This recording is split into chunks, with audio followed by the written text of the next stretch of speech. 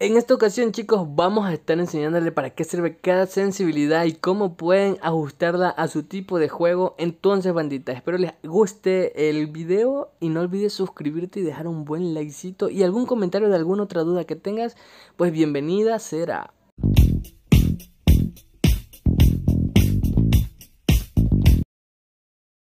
Bueno mi gente, ahorita vamos a hablar sobre la primera sensibilidad ya como ya saben, aquí vamos a hablar sobre todas las sensibilidades, sensibilidades y para qué sirven. En primer lugar tenemos la sensibilidad de la cámara, bandita. De la cámara, miren. Si, miren, por ejemplo, me voy corriendo y no puedo ni girar ni ningún lado, a menos ni con esto. Ya vamos a seguir hablando sobre las demás sensibilidades. Miren, no puedo moverme, no puedo girar.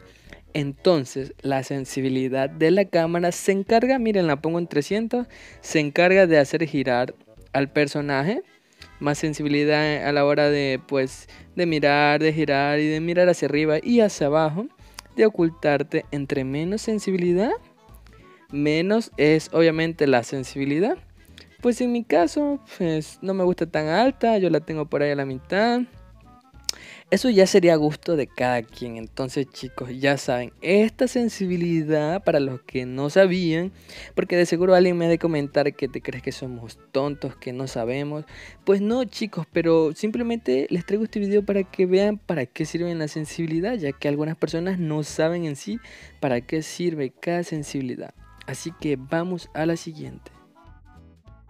Banda, y en segundo lugar tenemos a la sensibilidad de puntería. Como vemos ahí la tenemos en cero.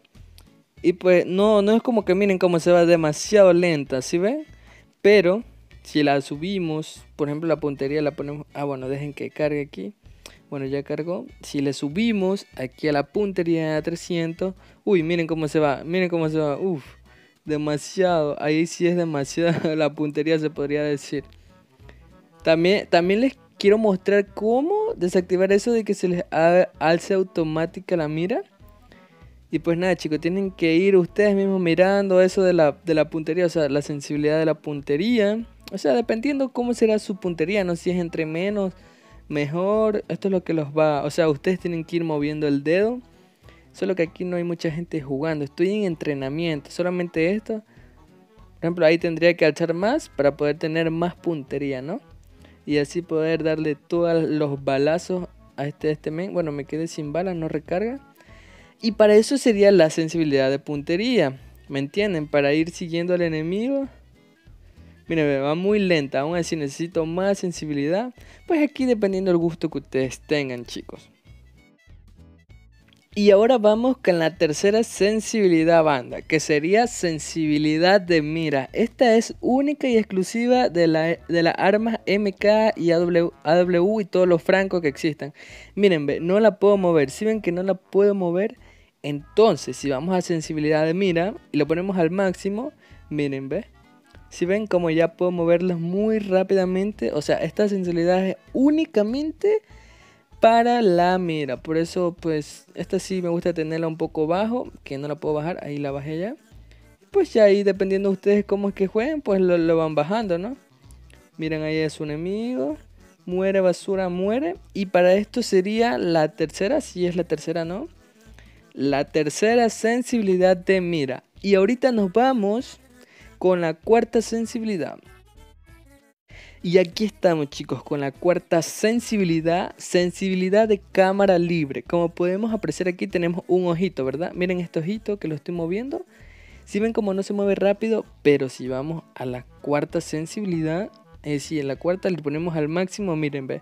Uf, uf, qué rápido va, ¿sí o no? Uy, qué rápido va la sensibilidad, o sea, demasiada sensibilidad tiene este juego.